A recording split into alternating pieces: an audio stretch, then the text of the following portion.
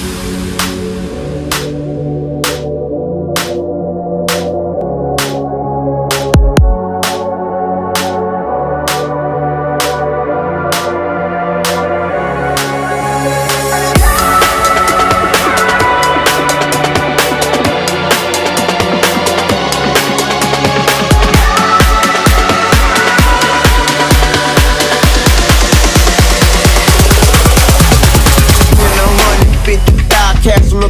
put